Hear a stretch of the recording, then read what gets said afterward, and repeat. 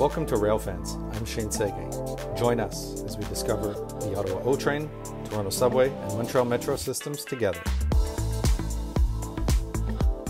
I'm Shane Sege, and joining me today is Jean Vincent Lacroix, who's the spokesperson for the REM. Thank you for joining me today. My pleasure. So tell us a little bit about the REM or the Réseau Express Métropolitain that's being built in Montreal. Yes, the Réseau Express Métropolitain is a brand new light metro system that we're right now building uh, in Montreal region. Uh, this metro system will be uh, around six, uh, 67 kilometers, 26 station. We're gonna start on the south shore of Montreal in Brossard. We're gonna cross a brand new bridge that is called the Samuel de Champlain Bridge to come downtown Montreal to the Gare Centrale. And then something that's going to be new for Montreal, the REM will cross the Mont Royal and be divided in three branches. So we're going to have branches that's going to the North Shore, to Deux-Montagnes and Laval. We're going to have a branch that are going through uh, the West Island of Montreal. Uh, and then the last branch, the third branch, will go uh, to the airport. So this is a major project for the region of Montreal. It's been 50, uh, 50 years since we didn't have a, a project of this uh, magnitude. The last one was, of course, the Metro of Montreal. But to give you a little bit of uh, the, the, the size of our project um, compared compared to the, the actual Metro of Montreal, our project, as I said, is 67 kilometers. The actual Metro is 71 kilometers. So we're practically doubling the uh, metro system of Montreal. Uh, of course, it's a light metro. Uh, it means that we have some sections that are um, um, by tunnel, but we most of the, the, the project is outside and on uh, elevated structure. Uh, so that's part of the, the flexibility that we have with a, a light metro system. We have some part by tunnel, but also some part that will be uh, outside the um, outside with elevated structures. So, can you tell us a little bit now about where these new lines and segments will go, and when do you expect each segment to open for revenue service? Yes, the first branch, uh, uh, as I said, is from Brossard, so south shore of Montreal to downtown Montreal. We uh, target to open this branch next year, so in summer 2022. Uh, it will bring uh, a real uh, flexible, frequent, fast service. Uh, because you have to imagine that right now for the south shore of Montreal, we we have about uh, hundreds of uh, of buses that has to cross to come uh, every morning and coming back every night. So it's going to change uh, and transform the way to uh, travel from the South Shore. And after that, in 2023, we want to open our central section. So from Gare Centrale to uh, a station that is called Du Ruisseau in Ville, uh, in Saint Laurent. And after that, in 2024, we want to open our last two branches. So the North Shore branch to Laval and Deux-Montagnes, the West Island branch, and at last, in the end of 2024, the connection with the airport to uh, downtown Montreal. So right now, we've launched the work in uh, 2018. So it's been around three years that the project has been under construction. Uh, we have just coming through uh, 15, 16 months of uh, major pandemics. So uh, right now, we, we're pretty proud of every teams that are on sites and continue to build this project. It's something really, it's part of what we have to deal for. So build a major project, but also have to uh, pass through this uh, major pandemic. So right now with the schedule that that we um, I just has been actualized recently because of the pandemics, but it's it, it's it's our, our it's our target right now. On the central section, there are three stations that are going to be connected to the metro the Montreal Metro downtown. So, namely Bonaventure, McGill, and Edouard Montpetit. So, can you tell us a little about each of these stations and some of the unique features that are planned that people will find in these stations? Yeah, this three station is pretty much the art of our networks because the connection with the metro is going to bring a lot of people. Uh, if we pass through each of them, the Gare Centrale next to the Bonaventure uh, station of the Metro of Montreal, the orange line, Um, it's a it's a connection that is really important in Montreal. It's the connection with uh, a lot of different train service and the Metro of Montreal. Uh, so the goal is, of course, to have a connection at the Gare Centrale. We're pretty much building a station into a station, into the Gare Centrale, into the actual station. So we took. Uh, you have to imagine yourself the Gare Centrale is I think it's 12 rail that you have under the the, the, the station. We're gonna took a couple of them to build the, the station of the REM because right now it's actual train that are going to the the main station, the Gare Centrale. So we're gonna transform it for for a light metro. Um, after that, just a couple meters, it's gonna be the station McGill even if it's really near the Gare Centrale, our goal with this station is to do a connection with the green line of the Metro of Montreal, but also to divide the um, divide the frequency and the achalandage, the ridership, uh, because a lot of person right now are coming to the Gare Centrale, so it brings a lot of different problems because we have a lot of people at the same time at the main station. Uh, so it, it, it's and it's bring uh, people at the same time because it's major train that coming to the Gare Centrale. So there are a lot of people are coming out of the train at the same time. So from the past year, we see that the Gare Centrale has some uh, issue about all the fluidity of the passengers coming out to Montreal, coming down to the Gare Centrale. So the goal with the REM is, well, of course, doing a connection with the Metro of Montreal at the green light, but also to, to divide the ridership. So with our projection, we see that it, should be our second most uh, uh, most uh, with most people, with most user uh, on our network. Because right now you can have with the REM two choice to go to go to downtown Montreal. You're gonna of course have the Gare Centrale, but McGill is, is also a strategic uh, uh, location for people going to the to the to downtown Montreal. And also this station, it's a place where Montreal wants to have its new uh, center, its new uh, uh, center in Montreal. So it's pretty, it's well well connected. It's going to be near Saint Catherine Street. It's going to be near, uh, of course, uh, uh University McGill, University of McGill, uh, a lot of different uh, industry and and. Um, and the siège in Montreal. So it's going to be a strategic place to be.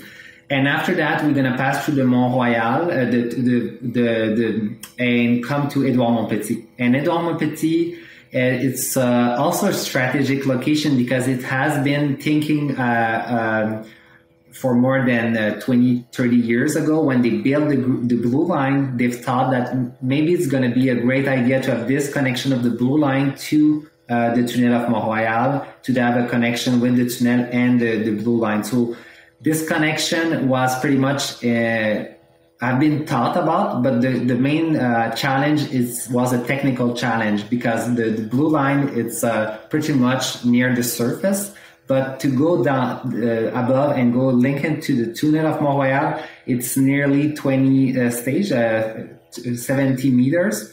Um, so we had to think about how we can go to that. Uh, and we, we launched the, the, the word because with the actual technology, the goal, it's, for the people working on the, this station, it's pretty much um, it, it's a lot of uh, excavation and and, uh, and they use some uh, micro dynamites to do to not have too much uh, vibration because this micro dynamite is being doing next to a lot of different uh, buildings. The University of Montreal, of course, so we have to limit the vibration by doing so much of the, uh, all the digging that we have to do. Uh, right now, it's pretty much achieved the, the, the, digging and the connection. We have finished our connection with the surface and the Tunnel du Mont Royal.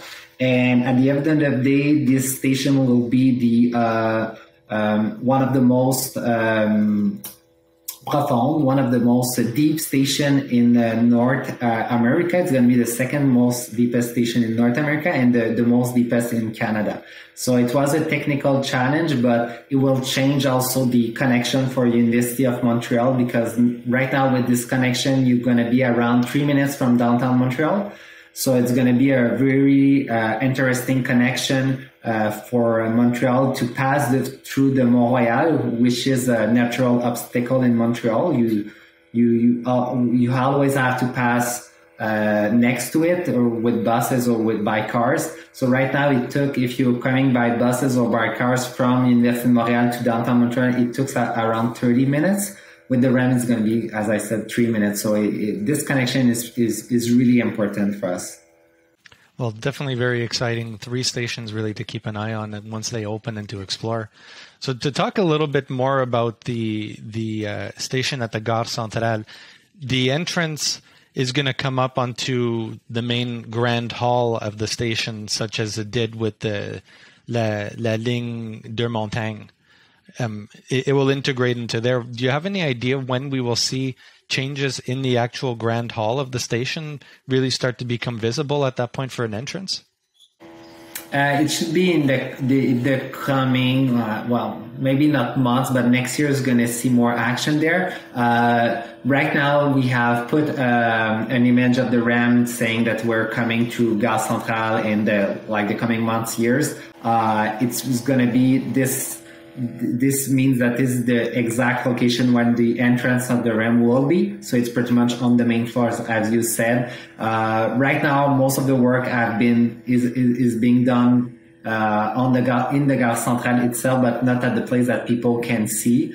Uh, we pretty much uh, close the area when the work is being done because of all the the dust and the, the, the noise that the work is being made. But uh, our goal is to open it in 2023. So uh, uh, pretty much before uh, putting in service, we have to do some tests. So six months, around six months before putting the the main um, this station into service, there's going to be uh, some tests because we all, always have to have some around six months of tests before having our first customer. So uh, in next years, maybe people are gonna come or early 23 gonna come to have uh, gonna see more action in that sector. Now, recently, it was also announced that the REM will expand to the east of the island um, as the next phase. So, can you talk a little bit about about this expansion? What does this mean, and where will it go? Yes, uh, we've announced uh, last December that we uh, have a project for the east of Montreal to uh, complete our, well, the complete part of our vision for the REM uh, in, in, Montreal. Uh, it's a branch, it's uh, two branches, one that's going to be connected to uh, Pointe-aux-Trembles in the east of Montreal, and the other one will go northeast to uh, um, Montréal-Nord. Um, it's going to be 32 kilometers of light metro system has like the, the the ring that is under construction right now. And it's be is going to be connected to downtown montreal. We're going to have a series of, of strategic location to deserve the uh, downtown montreal. The last one will be robert bourassa which going to be pretty much next to the main station la gare centrale um, a couple of uh, meters next to it so it's pretty much a, a connection to the Gare Centrale. Uh, right now, this project is under consultation and planification. So the uh, the actual um, the, it's what we call a projet de référence. So it's not quite finished. We have to still complete our our studies, our technical uh, analysis, our our environmental studies. Uh, we have to integrate some optimization coming from what people uh, have been asked during the consultation. So it's not a it's not the the, the, the, the final project, but it's it is giving you a, a great idea of, of uh, what we think is the best solution for the east of Montreal.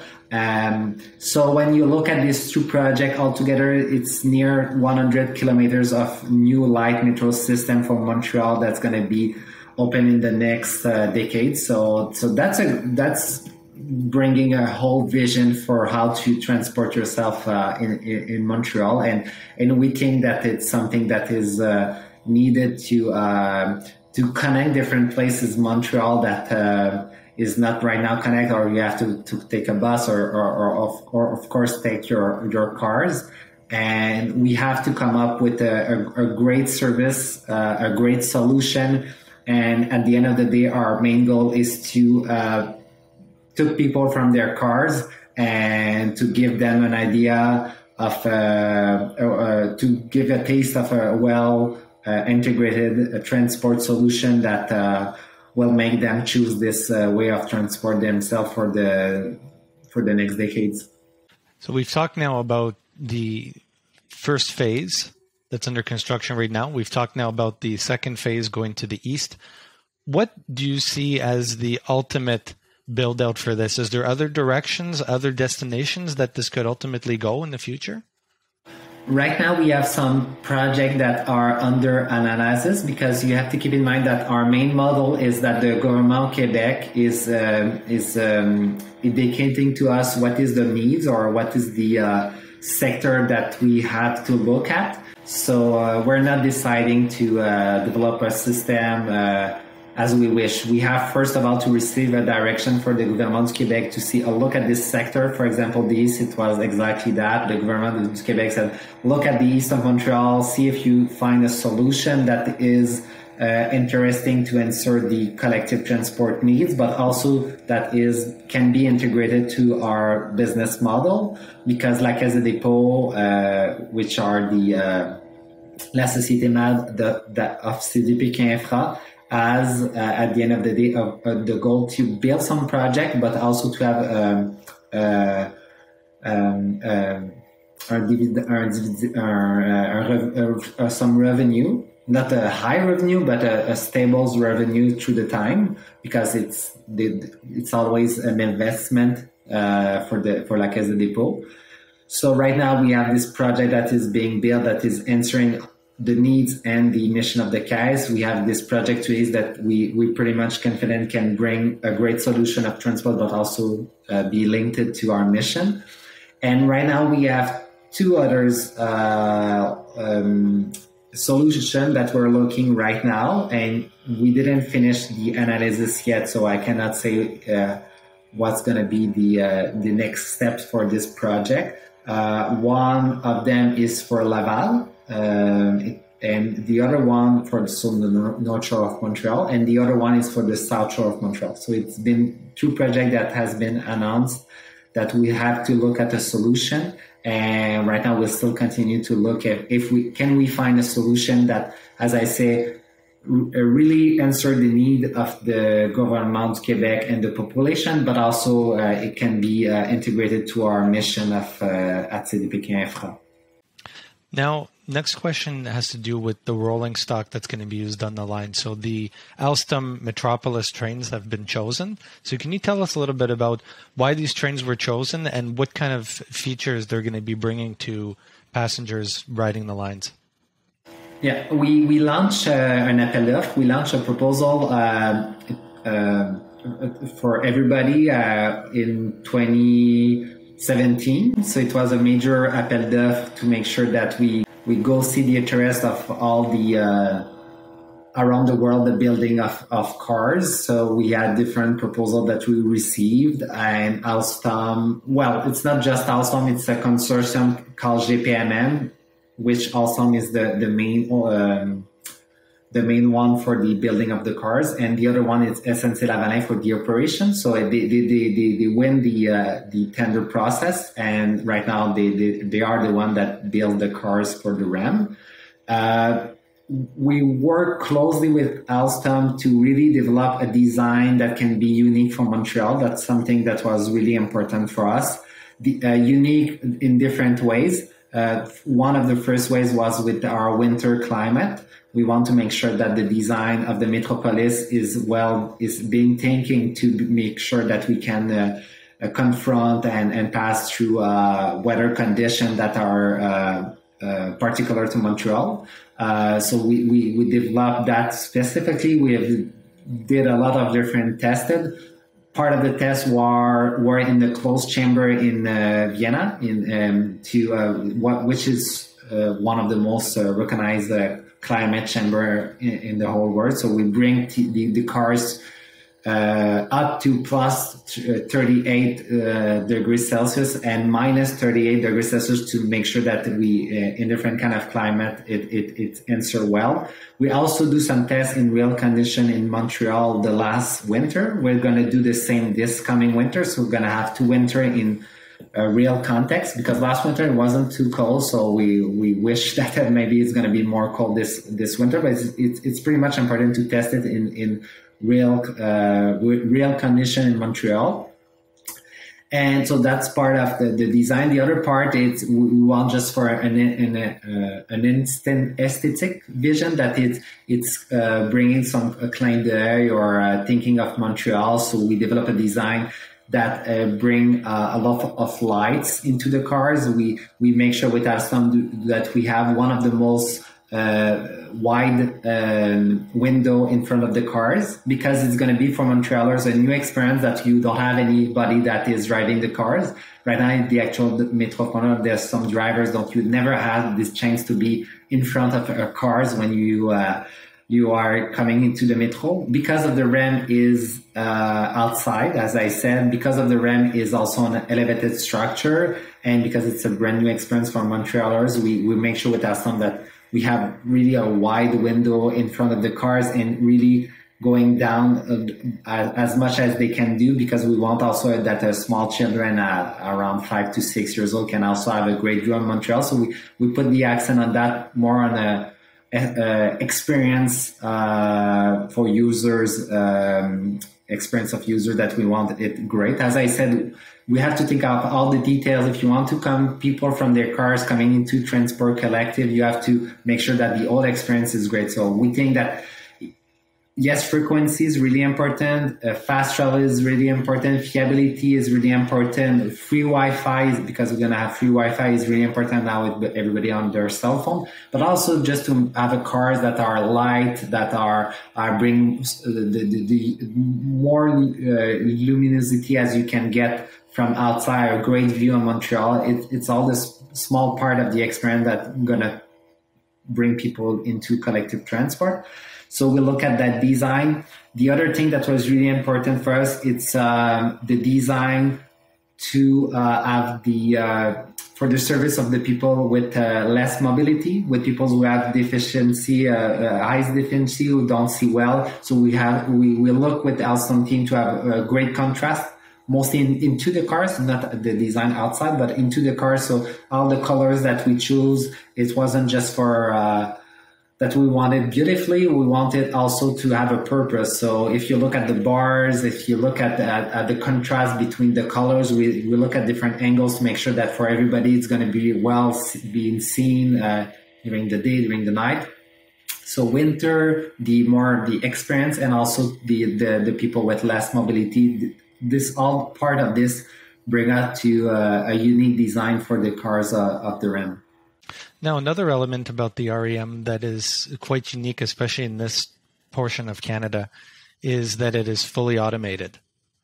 So, can you talk a little bit about that? Because the only other system that you can really think of in Canada right now is Vancouver SkyTrain. So, bringing this technology east is definitely very exciting. So, can you talk a little bit about uh, the automatic automated train operations that are going to be taking place on the REM? Yes, they, this the, this is a decision that we took um, in the first uh, when we when we launched the first step of the project. We really want to have something that bringing the most uh, um, most modern technology into uh, automatizations. We, so we choose the GoA4, uh, which is the most advanced technology in automation. Uh, but it brings a lot of different challenges. One of the challenges is that you have to do a lot of the tests before putting the, uh, the, the, the REM into service. So right now we start the test uh, last winter. We're gonna have 30, um, 13 uh, months of test before uh, putting the REM in service because you have to look at, uh, all the, the, little details to make sure that the, the cars, every location of the cars uh, uh, is being seen into our main center. Uh, you have to make sure that there's nothing on the rails. There's the system anti-intrusion. You have to think that uh, um, the, the cars also um, manage to see the ridership because when there's a lot of people, the um, the cars of the uh, the REM has to be at the same level of the the platform at the station to make sure that for a person in a wheelchair, for example, there's no bump. So the, the car has to always adjust itself. Uh, so there's a lot of tests that has been needed, uh, but there's also a lot of opportunity that you have with an automated system. You, the cars uh, will adjust its speed if they have to uh, if you have a delay, well, all the system will adjust itself to, to compensate the delay and making sure that the system is keeping running and, and maybe go faster or lower, uh, slower because you have to, uh, to adjust yourself. Uh, it give us a lot of flexibility. So for example, if, during the outside the rush hour you have a main event uh, like in montreal uh, the canadian montreal has been well in the series. If we we we, we have the REM in, in, in service during that period uh, we can see that next to uh, the Centre Bell we have our station of the REM that's going to be there. So we can adjust during the after a game to have more frequency because you see, you know that there's a lot of people coming outside the, the Centre Bell. So you have a lot of flexibility. You have a lot of fiability with that, an automated, uh, automated system. Um, what an automated system bring, it's also to have platform screen doors. So that's something also is going to be new, not just more for Montreal, but also for North America. You don't have a lot of system in North America. I think for the the magnitude of our project is going to be the first for a system, a metro system of, of more than 50 uh, kilometers. It's going to be one of the first to have this platform screen doors. But flat platform screen doors, screen doors brings a lot of, of uh, advantage. You have, of course, you won't be uh, uh, if it's raining or if it's cold, you won't be uh, uh outside. It's going to be closed, so it's going to be warmer. It's going to be uh, uh it's going to be more comfortable. But also, people cannot. Um, you won't have your cell phone onto the tracks, or you won't something won't fall onto the tracks, so it bring more security. But because uh, nothing kind of fall on the tracks, it, it's also bring more fiability. Because a lot of time that a metro system, not just the, there's a lot of things that can happen into a metro system. But if you see at our metro system in Montreal, if you look at the statistic, a lot of time that there's some delays or problems because somebody has left or there's something felt from there and into the tracks. A lot of time it's the cell phone. So because of the platform screen doors, we make sure that nothing's on the tracks. Uh, when the, the doors are uh, when the cars is coming, the, the platform screen door are open at the same times of the cars.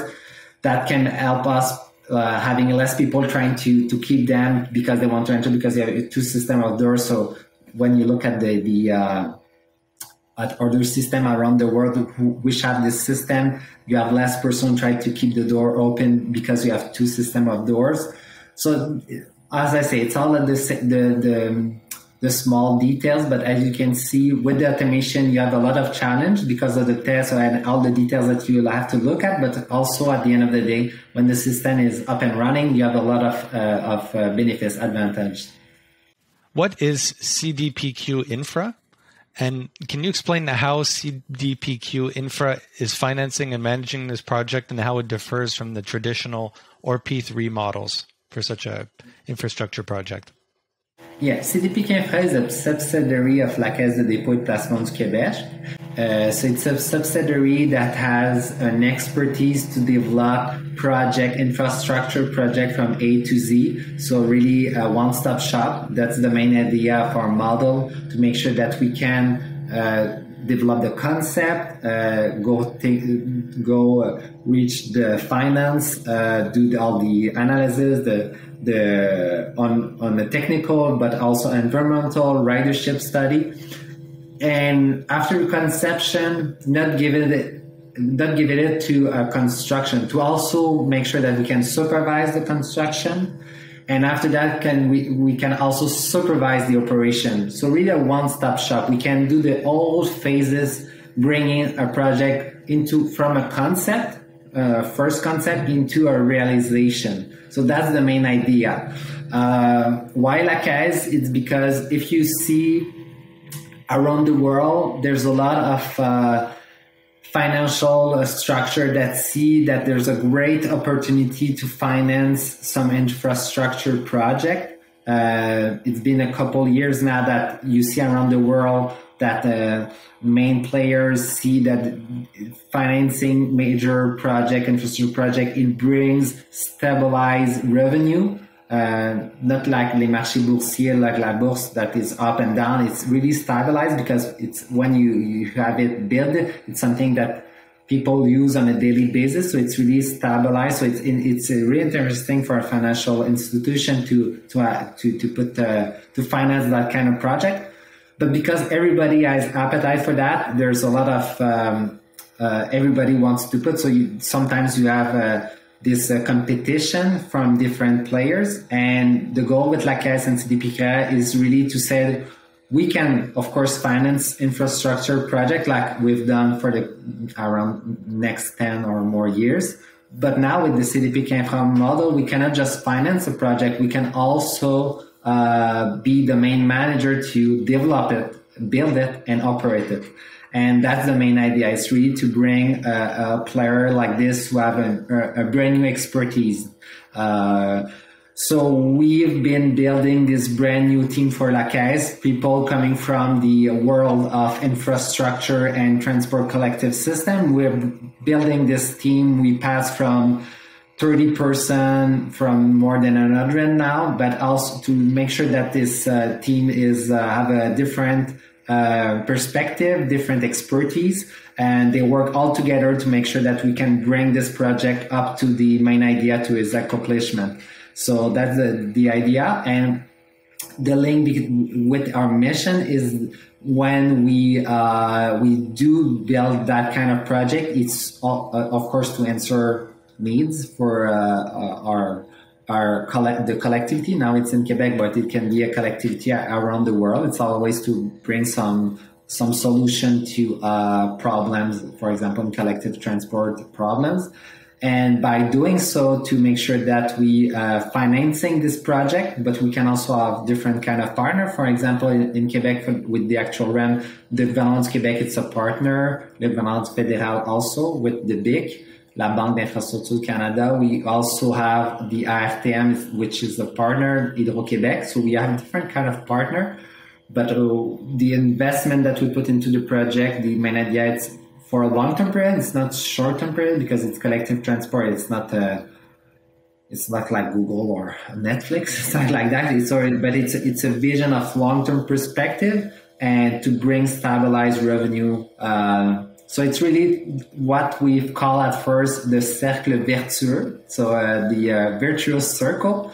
It's you have this main idea of building this tangible service that bring something to the collectivity, but also stab revenue for term that are stabilized. And for our part, um, you said the difference between a PPP and our model. It's at the end of the day, the, the revenue that will be uh, made by the REM or, or, the project is coming back into the pocket of, of um, our um, and our deposants are the people that we are working for is it's all the, the Québécois because uh, our goal is to make money for the uh, retraite des Québécois for the uh, so uh, th- so that's why we're not exactly a PPP. We're mostly a, a public institution. The main idea of La Caisse de Dépôt is to uh, make sure we call it le bas de laine des Québécois. So it makes sure that we we bring money. We we give money to uh, pour la retraite the uh, all, uh, all the Québécois that